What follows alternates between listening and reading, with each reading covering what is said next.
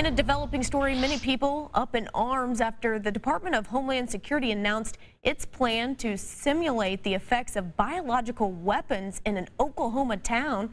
Has many people in Newkirk, a small town near the Kansas border, concerned. According to DHS, they will test the impact on buildings if a terrorist were to release a biological weapon.